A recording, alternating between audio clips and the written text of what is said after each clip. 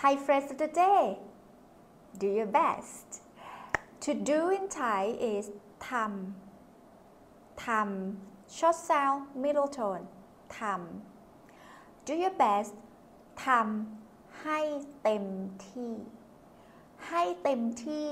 means to the fullest to the maximum in spoken Thai you might hear Thai people drop the word ให้ because we just like to say things as short as possible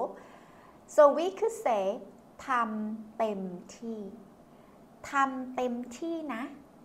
do your best now if you would like to say I've done my best it's very easy you can just add the word แล้ว